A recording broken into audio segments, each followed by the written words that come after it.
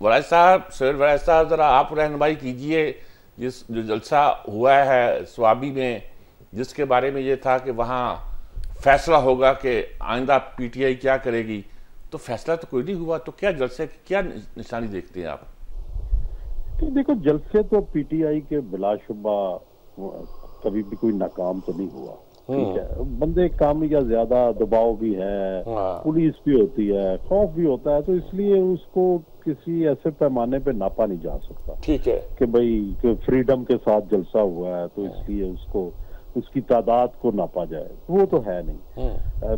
एक तो तरफ़ ये है कि भाई अवाम तो डेफिनेटली इमरान खान के साथ ठीक। डेफिनेटली तरीक इंसाफ के साथ है। मेजॉरिटी है ओवरवेलमिंग मेजॉरिटी है लेकिन ये जो ख्याल है उनका कि भाई हम इनकलाब के ज़रिए या वायलेंस के ज़रिए हाँ। या धरने के ज़रिए हुकूमत बदल देंगे।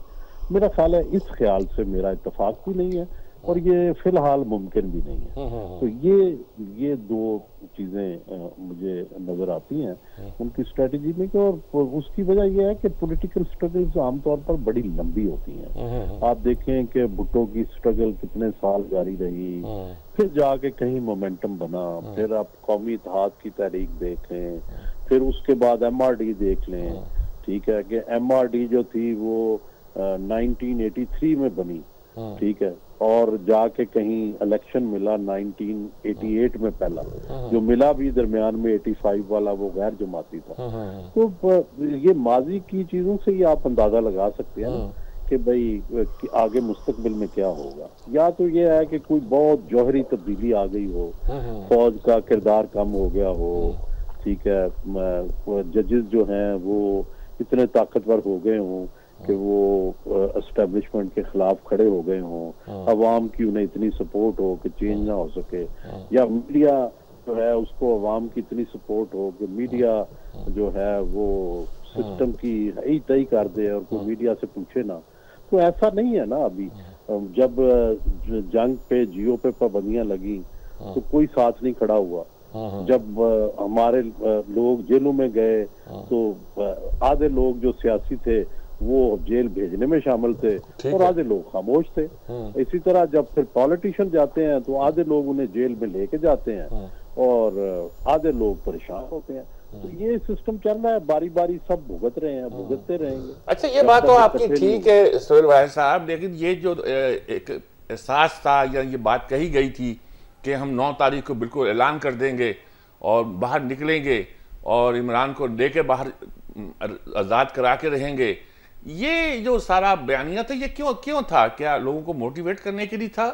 या कुछ इसके पीछे कुछ स्ट्रेंथ थी उनकी जो नज़र तो नहीं आई इस वक्त? हाँ जी मतलब अब जज्बात उभारने के लिए ज़िंदा रखने के लिए उम्मीद देने के लिए ये इस तरह के नारे हाँ। लगाए जाते हैं पहले भी। हाँ। लेकिन ज़ाहिर है कोई लोग के इस तरह तो नहीं मुमकिन के ये जाएँ जत्था बन के और जेल से निकाल के ले आए। हाँ। ऐसा तो मुमकिन नहीं है। ना सोसाइटी में इतनी सख्त है कि फौज और पुलिस से लड़ के और हाँ। झगड़ा करके वो तो फिर इनकलाब आ जाएगा ना हाँ, हाँ, अगर इस तरह होगा। तो वो तो होता नज़र नहीं आया ना नौ मई को हुआ ना आज हमें होता नज़र आ रहा है। ठीक है। तो आम तो मैं कह रहा हूँ कि ये कम ख्याली है। तासुर क्या मिलेगा लोगों को कि वो लोग तो तो लगाए बैठे थे कि कुछ ना कुछ ऐलान होगा। जब ऐलान नहीं होगा तो लोग क्या कुछ खिलाफ सोचेंगे या मुतमिन होकर बैठ जाएँगे या वो तजिया करेंगे कि ये ऐसे ही होता है मोबलाइज करने के लिए ऐसे किया जाता है क्या लगता है आपको लोगों पर क्या असर पड़ेगा वो हर सूरत फ़िलहाल देखें जी जब तक दो चीज़ें नहीं होती लोग पीटीआई के साथ हैं हाँ। एक तो पीटीआई एक इलेक्शन नहीं जीतती हाँ। और फिर अपनी परफॉर्मेंस में फेल नहीं होती हाँ।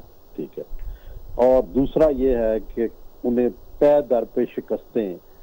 इतनी उनकी उनका हौसला तोड़ देती हैं हाँ। कि वो स्ट्रगल करना तोड़ दें हाँ। छोड़ दें। तो ये दो रास्ते हैं दुनिया में जो आज तक हुआ है कि या तो आप इतना उन्हें मायूस कर दें कि वो बाहर ना निकले या एक दफ़ा उनको इकतदार दे के और देखें कि वो क्या परफॉर्म करते हैं। अब देखें क्या उनकी नसीब में क्या है मुकद्दर में क्या है। हम मेरी जाती राय तो यह है कि उन्हें उनका हक है एक फेयर इलेक्शन और उसके बाद इकतदार। लेकिन ज़ाहिर है यहाँ पे इस्टेब्लिशमेंट मुख्तदरा दूसरे अदारे शायद ये रिस्क ना लें क्योंकि वो समझते हैं कि माजी में हमने ये करके देख लिया उसके नतज अच्छे नहीं निकले। लेकिन हम चूँकि जमहूर और एक आइडियलिज्म पे यकीन रखते हैं तो हम तो इस तरह की बातें करते रहते हैं। हाँ हम करते रहते हैं कुछ लोगों का ख्याल है। कि अगर कोई कौम किसी गलत रास्ते पर चल निकले तो कौम के अंदर कुछ कुतें ऐसी भी होनी चाहिए ओपिनियन मेकर ऐसे भी होने चाहिए, जो उसकी राह में रुकावट बने, अमरीका में जैसे ये स्ट्रगल होती रही है, अगरचे उनकी राय गलत निकली और ये कुछ बल्कि ये ख्याल है कि शायद इस बार ट्रंप एक अंडरस्टैंडिंग के साथ इस्टेब्लिशमेंट के आए हैं और उतनी मुखालफत नहीं उनकी हुई है इस्टेब्लिशमेंट की तरफ़ से जितनी आम तौर पर तो की जाती है। कोई ऐसी बात तो नहीं है कि ये इस्टेब्लिशमेंट की ज़्यादा मुखालफत इन्हें महँगी पड़ रही है? तो ये तो देखो प्रॉब्लम ये है ना कि हमारे यहाँ जो है सच तो ये है ना कि इस वक्त भी जो इस वक्त पाकिस्तान की जो यानी सब फैसला मेक और ब्रेक का फैसला तो करना है पंजाब ने हम्म, हम्म। ठीक है? और यही सबसे ज़्यादा आबादी है यही हम्म। सबसे ज़्यादा एमएनए होते हैं। तो पंजाब की के हाँ कभी वो ये इनकलाबी या आर्म स्ट्रगल या इस तरह की जो सोच है वो कोई ज़्यादा फरोग नहीं पाती। ठीक है? और वो जो लोग हैं वो अपना रिस्क वोट तक ही रखते हैं।